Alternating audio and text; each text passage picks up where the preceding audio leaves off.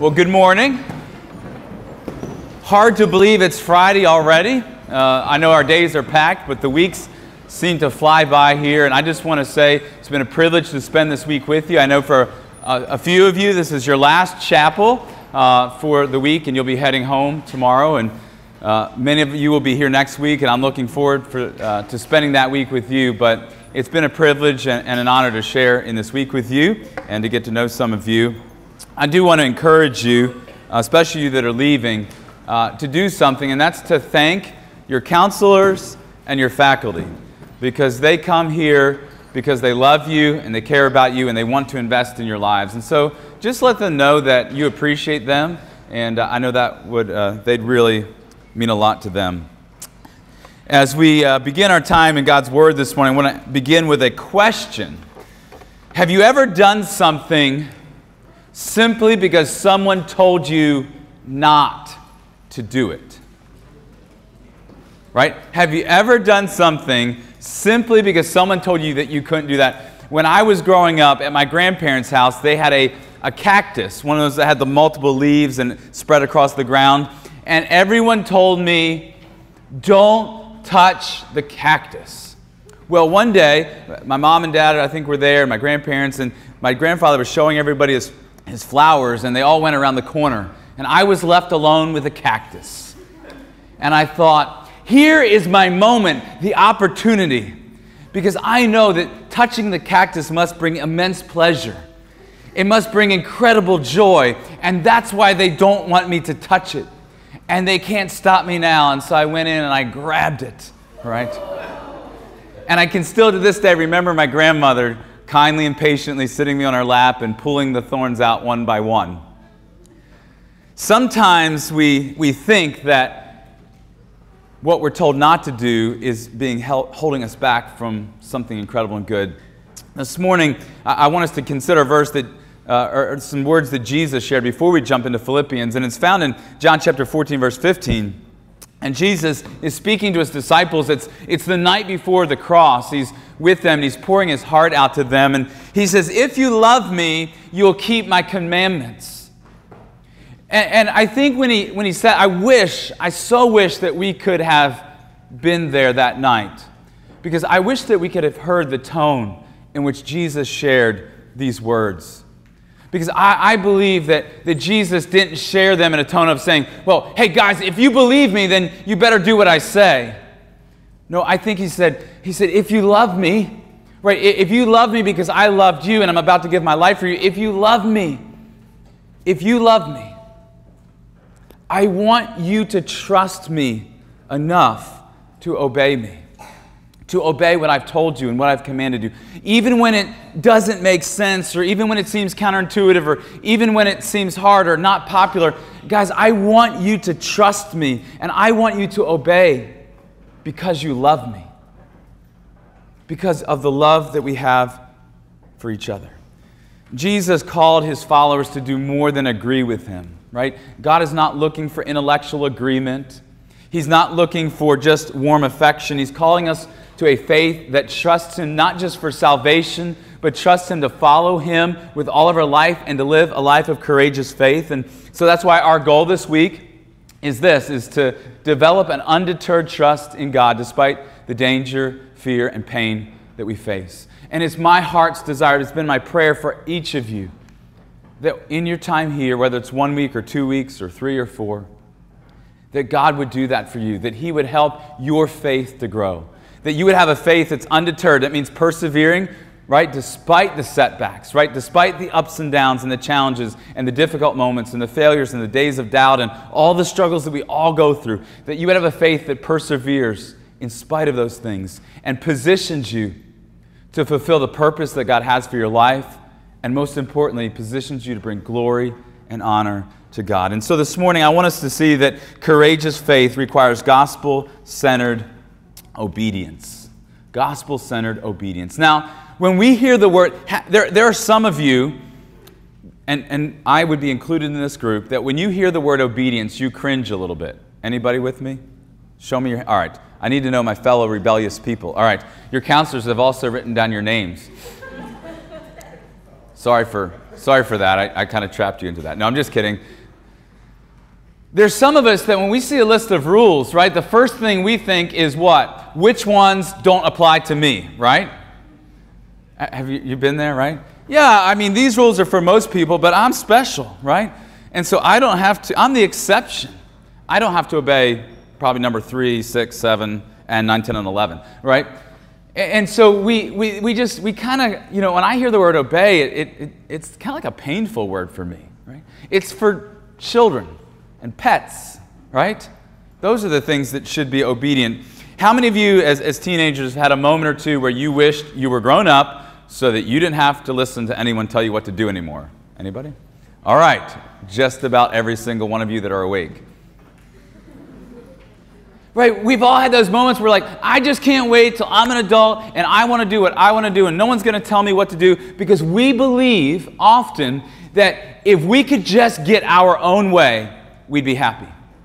That happiness is found in fulfilling my desires, my wishes, my wants. If I could just get my own way, I would be happy. I would experience joy. That if I could just pursue the desires of my heart. Now, I'm not talking about, God often gives us desires, good and godly things that He wants us to, to pursue in life. I'm not talking about those, but, but we think that the selfish or self centered desires of our hearts, that if I could just have what I want, if I could get what I want, I would be happy.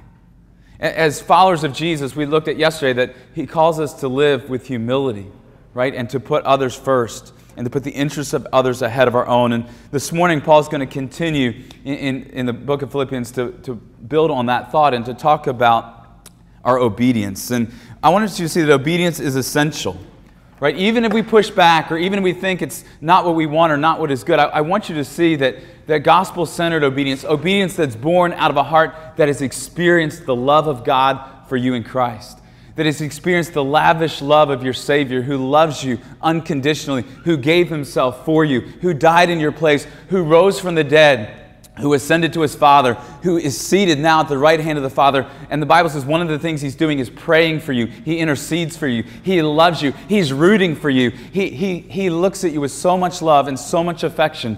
And he wants you to feel and know and experience and taste that love. And then, out of having experienced that love and that joy of knowing him, to then trust him, to obey him. And so, look at Philippians chapter 2, and we'll begin at verse 12. Paul says, So then, my dear friends, just as you have always obeyed, right, there's our word obey, not only in my presence, but even now more in my absence, work out your own salvation with fear and with trembling. And so, as he's writing to them, he says, You know, because of what I've just shared with you about humility and about the example of Jesus, he says, My dear friends, he says, you, you, you've, you've been obeying Jesus. You're doing well. And you didn't just do it when I'm there. You know how we tend to obey when we're being watched and then not obey when we're not being watched? I know none of you have ever done that, right? He says, you're, you're doing well, you're obeying, but he says, I want you to continue in that because this is the path that God has for you. And then he says, work out your own salvation with fear and trembling. And so he's calling them to live out what God has worked in them, right? When, when he says to work out your salvation, he's not saying to work for your salvation. He's not saying that you have to earn your salvation. You can't. It's solely by grace through faith. He's not saying you have to earn God's love or his approval or his affection. All of those things are yours in Christ. But what he's saying is that what God has done in you, that we must participate in living it out. And so he's saying, live out what God has done in you through Jesus Christ and through the gospel and through your faith in him. And so he says, live it out. A relationship with God is not just about agreeing with him right? It's not just affirming or believing a set of facts. It's not just about going to heaven when you die, although that is our hope in Christ that we are going to be with Him forever in heaven and then in new creation and new heavens and new earth. And so that is our hope, but it's, it's, it's about knowing Jesus now and living for Him and being obedient to Him and letting the gospel shape our life. So then Paul's going to share something very encouraging because he says, he says, work out your own salvation, right? And, and, we're like, man, that's pretty, with fear and trembling. He says, take this seriously, right? This, this is serious. And that's heavy. But then notice what he says next. So encouraging. For it is God who is working in you, enabling you both to will and to act for his good purpose. And so it says, you don't have to feel this pressure that you've got to do all of this in your own strength or your own power. In fact, you can't do it in your own strength. You can't do it in your own power. And so Paul says, look, it's God who's working in you, right? The power, the Bible says the resurrection power of Christ is in us who are his followers. He says, God is in you. He's working, He's enabling you to both will, to change your want to, right? Because when, we, it, when it comes to obedience, we, we have to desire that. He says, God works on both our will and our actions. He's enabling us and empowers us to live for Him in His glory. Listen, the gospel is good news, right? That's what the word gospel means, right? And the good news of the gospel is not that we have to try harder, but we simply have to submit and to surrender to what God is doing in us through the power of His Spirit. The ability to have a courageous faith, the ability to trust God and to walk out and to live out the salvation that He's given you is not something you have to do in your own strength. It's not something you have to do in your own power or your own ability. He gives us the ability, but He does ask us and require us and call us to participate, right? To take action and to live out what He is working in us through His power. And so Paul reminds the church at Philippi, he says, I want you to, to work out what God has worked in you. I want you to be obedient to the gospel and to Jesus. And then he's going to give them a specific area that he wants them to live this out in. Of course, it's to be in every area of their life, but notice an area that is probably an issue that they were dealing with and certainly one that we deal with. Look at verses 14 and 15. Paul says, Do everything without grumbling and arguing, so that you may be blameless and pure, children of God who are faultless in a crooked and perverted generation, among whom you shine like stars in the world. So here Paul's going to give a little bit of how and a little bit of why, right? Because whenever we're called to obedience, right, it's, it's one thing to say, okay, I understand that's what I'm supposed to do, but then we have to think about how am I supposed to do that and why, right? We, if we don't know our why, we'll lose our way. So he says, do everything without grumbling and arguing. How many of you would say, I tend to complain a lot? All right? All right a lot of us. And I think we, we live, in, and it's easy because complaining is contagious. It's like a disease. Are you with me? Right? You can, have you ever noticed that when you're around someone that's complaining and it has a negative view of everything, what happens to your view? Somebody help me out. It becomes similar. And so we live in a world of complaining and arguing. Just go on, on social media, right? and everybody's arguing about everything every day, right? Because everybody's an expert on everything now. So we, we live in that world, but as followers of Christ, we're actually called to live distinctly and differently. And so Paul's going to say, do everything without grumbling and arguing. He says, don't be a complainer. Why? Because your life is saturated by the reality of the gospel. So he says, don't get your eyes on Jesus and who he is, what he's done for you, what he's called you to and it will change your perspective. I want you to imagine that I was going to give you a, a house, a, a mansion, all right, on a thousand acres of land, and I was going to give you $10 million in cash. Are you with me? I can't do that, all right? But I would if I could. So just imagine, right? Can you, you got your imagination going? All right, I know it's early, but just try to get the imagination. Now, I want you to imagine that I've, I've said, look, it's yours. All you have to do is come with me, and, and, and once we get to the house, you'll take possession of it, and there'll be $10 million in your account, and it's yours. And a half a mile away from the house, we ran out of gas, and we had to walk the rest of the way. How many of you would be upset with me and complain about having to walk the half mile? One. All right. There's always one in every crowd, right? Who says, You idiot, why didn't you get gas, right? But most of you would say, I wouldn't even be really thinking about having to walk a half mile. Forget it, I'll run the half mile. You're giving me a, a mansion, $10 million, and a 1,000 acres of land, right? Are you with me? Right? Your mind would be what? It'd be consumed with, with what you had been given, that you wouldn't really notice the inconvenience. And what you've been given in Christ is so much greater. I mean, so much greater than a house or money or possessions, right? You've been given an inheritance in Christ that can never be taken away. The Bible says that is kept in heaven for you, where it can't perish or fade or spoil. You have been given the privilege of knowing the God of the universe who created you and made you. And you've been called to his kingdom and his glory, which you will share forever and ever and ever. And we must saturate our minds with that truth and with that reality because when our minds are saturated with the love of God for us in Christ and what he's called us to and what is ours and the future that we have, then then we will be able to overcome our complaining and our arguing and the things that we get distracted by. And Paul says in verse 15, he says, So that you may be blameless and pure, children of God that are faultless in a crooked and perverted generation, among whom you shine like stars. Paul's saying our lives should look profoundly different because of the gospel at work in us, because of our relationship with Jesus Christ.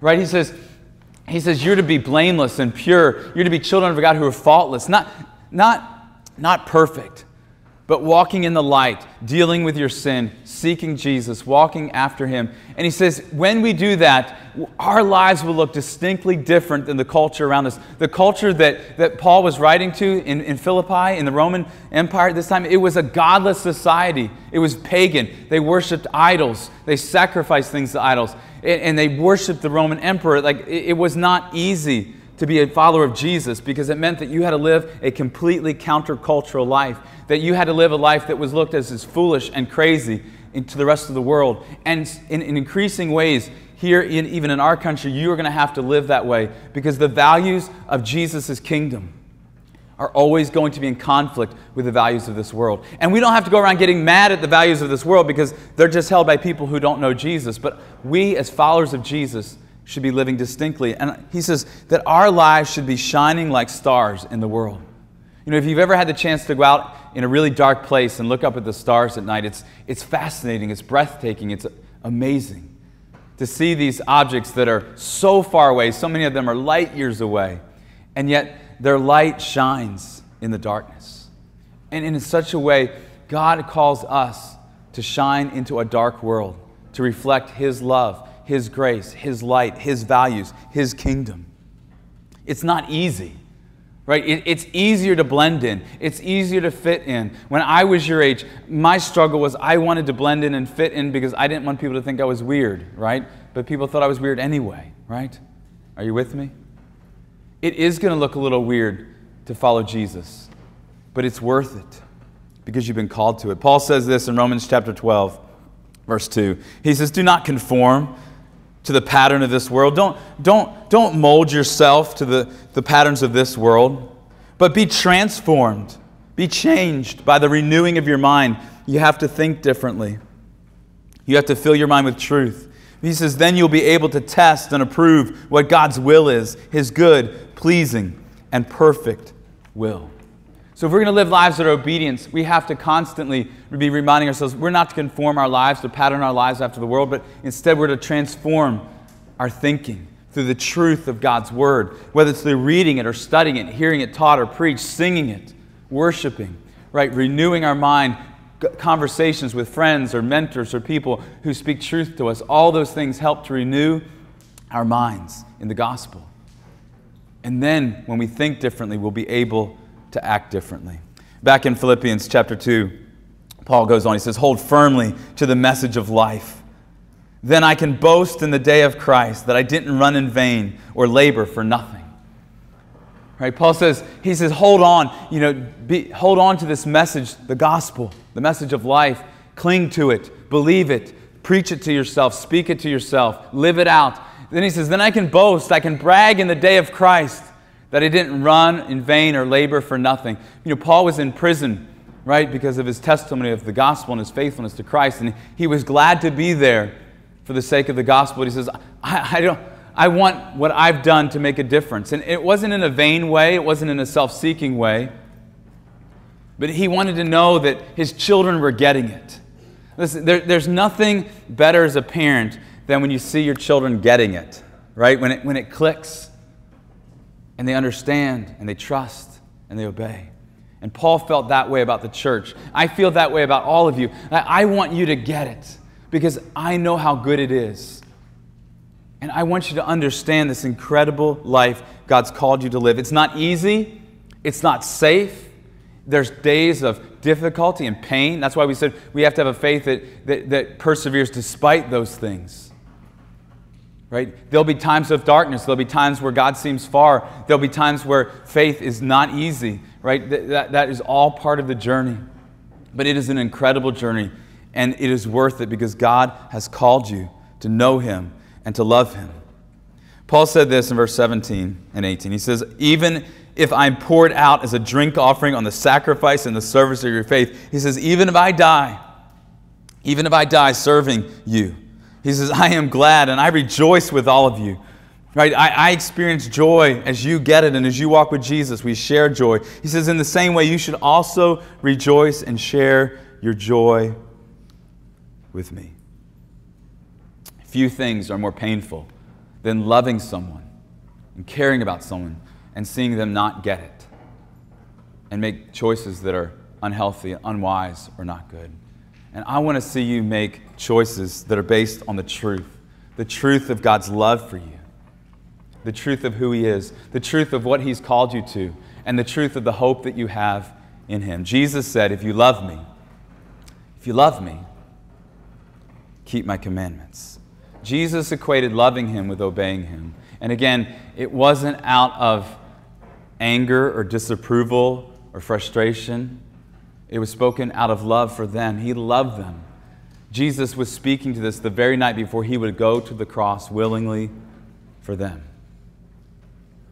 And he wanted them to get it. He wanted them to trust him. He says, if, if you believe that Jesus loves you, if you believe that Jesus died for you, if you believe He's coming again, if you believe you're going to spend eternity with Him, would you not be willing to trust Him and obey Him? Back in verse 12, Paul said, So then, my dear friends, just as you've always obeyed, not only in my presence, but even now more in my absence, as you guys go out, work out your own salvation with fear and trembling. Live life obediently to Jesus in every area. Even when it goes against your desires, even when it goes against your feelings, even when it goes against what seems to be popular or what you think would make you happiest. Because just like the cactus was very deceptive to me, life can be very deceptive. We think that it's in pursuing our desires that will bring us joy and satisfaction, but it's actually in obeying and pursuing and knowing Jesus. And when we do that, and when we have a vision for that, right? Our lives will shine like stars, and your life will be well positioned to fulfill the purpose for which God's created you and to bring Him the glory that He's designed you to bring. So I want to give you three questions real quickly to think about. Number one, are you seeking to live obediently to Jesus? And, and this probably should be a question that we all ask of ourselves often, right? This is a maintenance thing that we probably all need to do, self included. Am I truly seeking to live obediently to Jesus? And none of us, none of us are going to do it perfectly, right? We will stumble, we will fail, we will fall short, and there is grace for that. But the desire, the trajectory of our life ought to be desiring to obey Him because He loves us. Number two, is there an area of your life in which you're disobedient? That, that even as you ask question number one, you know right now there's an area of your life that you're not aligning with the will and purposes of God. And that you, for whatever reason, and it doesn't really matter what the reasons are. You just be honest and say, there's an area of my life that's not in alignment with the will of God and the purposes of God. And if that's the case, God loves you. He wants you to bring that to Him. He wants you to confess it. He wants to set you free. There's grace for that, there's forgiveness, and there's power to live differently. And then the third question, going back to what Paul said about how, do you complain frequently? Because this is a really good barometer of how we're doing in our walk. Because when we're complaining a lot, we've taken our eyes off of Jesus. We've taken our eyes off the hope that we have in Him. And so I just want you to think about that. And I would like to challenge you to a 24 hour, all right, we'll begin at 9 o'clock, 24 hour no complaining challenge. Now, I, I did this with my church. I gave them a seven day challenge. So you guys are getting off easy, all right? 24 hours, I want you to try to go and keep each other accountable. Let's see if we can go from 9 o'clock this morning till 9 o'clock tomorrow morning, and you can even extend it if you'd like, without complaining. So when you catch yourself about to complain, just suck it back in. Let's see. Let's try to live out what God has worked in us. And it's my prayer for all of you to have a courageous faith. Let's pray. Father, uh, I thank you for your word and, and just how it reminds us of your love for us. Father, I know obedience, sometimes we push back against it because we're afraid that obeying will cause us to miss out on something good or that we think we should have. But Father, help us to realize you love us and that trusting you is actually the most logical thing that we could do because it's for our good. Father, help us to, to live lives of courageous faith and help our lives to shine like stars in a dark world for your glory. In Jesus' name, amen.